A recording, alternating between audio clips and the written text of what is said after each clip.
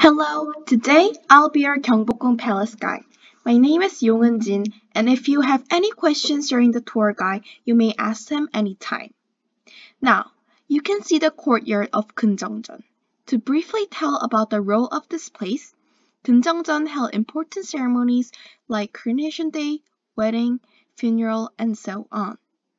On the yard, as you can see, there are granite stones called Paksok.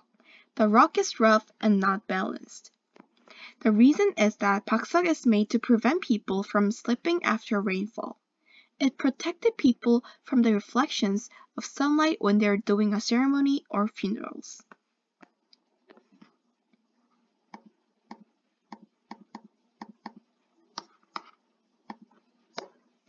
Now, this is these stones are called Pumgesok also known as rank stones. The civil and military officials stood by the rank. And if you look closely, the Pumgesok stone surface is very rough because people believe that if you touch the rank stones, then you can rank into a high official. Also, there is an iron ring near the rank of stones. It is supposed to fix a tent to protect sunlight for a high-ranked official.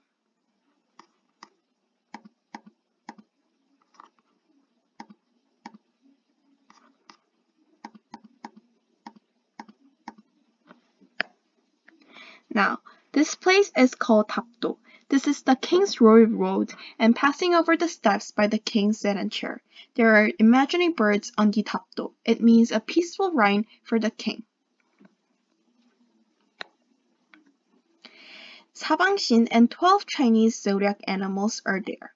These Sabangshin are four guardian animals, the red phoenix, blue dragon, white tiger, and the black tortoise.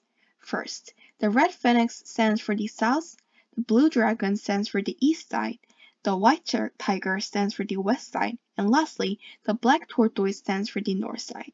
There are only 10 zodiac animals. The missing two zodiac animals are the dog and the pig.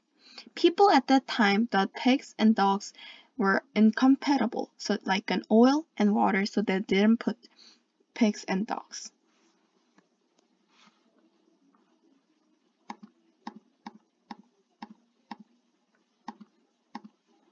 Now, if you look inside the Kunjeongjeon, you can look at the picture called Irworobongdo. The painting also means wishing for a peaceful reign and the king's dignity.